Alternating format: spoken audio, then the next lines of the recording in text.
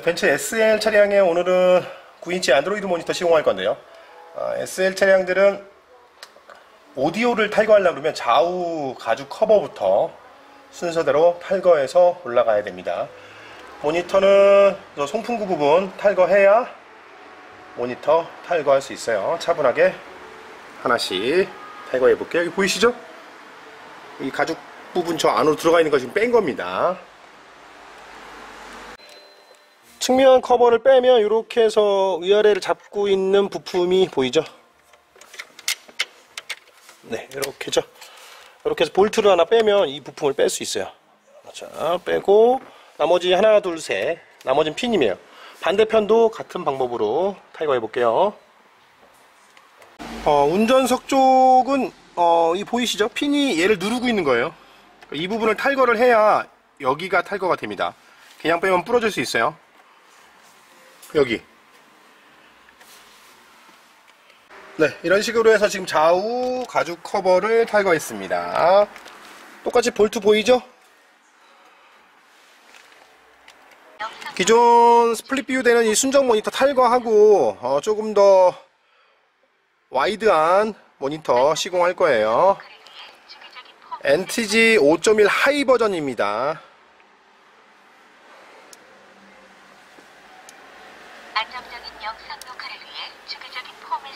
송풍구 빼야 여기 모니터 뺄 수 있고요. 어, 지금 테스트하는 거는 미디어 예, USB aux 인식 잘 되는지 보고 있어요. 잘 되네요. 네, 이런 식으로 해서 start 버튼 그리고 공조 부분이 3개, 3개 빼면 빠집니다. 네, 여기까지 순조롭게 탈거가 됐습니다. NTG 5.1 하이. SL 순정 모니터 순정 오디오. 송풍구 빼는 거는 똑같아요. 뭐 B클래스 CLA 뭐 같은 연식의 벤츠와 똑같아요. 순정 모니터도 탈거해 볼게요. 벤츠 SL 순정 모니터 탈거했습니다 현장에서 라이브로 테이핑된 배선들을 아름답게 정리하고 있습니다. 모니터, 그 다음에 오디오 조립해 볼게요. 네, 일단은 걸어봤어요. 여기 조립해서 테스트 해볼게요.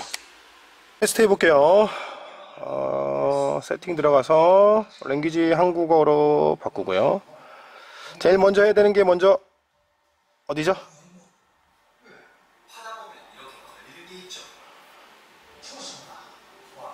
차량 정보.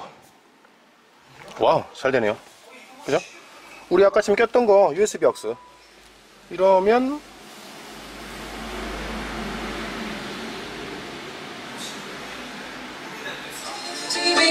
유튜브도 아주 잘 돼요. 넷플릭스는 별도 APK 파일 이용해서 설치하셔야 사용이 가능해요.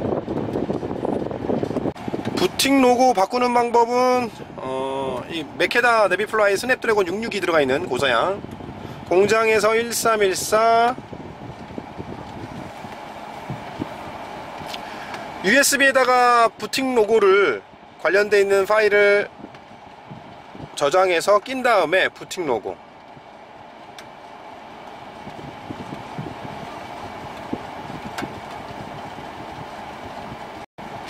아까 처음에 가져오기 하면 이렇게 가져오기가 됩니다 보이죠? 원래 아까 없었는데 그러면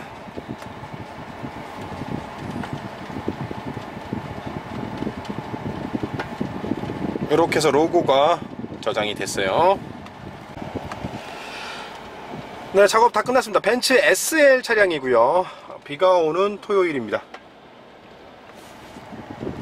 깔끔하죠? NTG 5.1 high 버전은 aux 코딩이 안 돼요. 요 내비 버튼 있는 거요.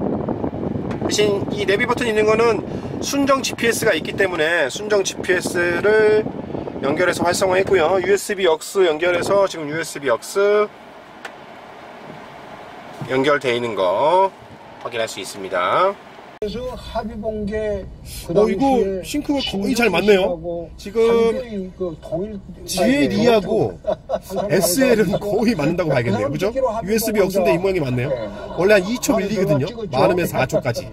근데 집사람 USB 억스를 이용해서 저량 스피커로 어, 연결이 되고요. 네, 후방 카메라. 네. 순정 후방 카메라가 연동되고요. 스냅드래곤 662 고사양 제품이에요. 대시보드. 네, 다 연동되죠? phone link 카플레이 안드로이드 오토 필요한 어플들 설치하고 있고요. GPS 순정 안테나 연결해서 안정적인 수신을 확인합니다. 아까 말씀드린 넷플릭스 설치했죠 어, 로고 파일도 업로드 해가지고 필요한 로고도 세팅을 해놨어요 이러면 전체 작업이 모두 마무리 됐습니다 깔끔하죠? 이게 SL 차량이나 SLK 뭐 이런 차량에 시공이 가능한 제품이에요.